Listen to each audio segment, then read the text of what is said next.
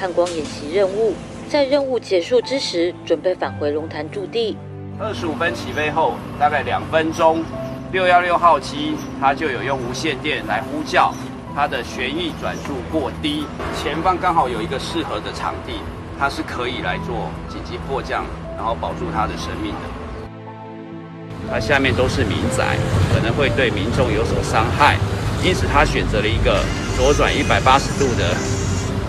迫降方式，那因为旋翼转速过低，以至于造成它的迫降没有办法完成，导致重落地，造成后续飞机这个起火。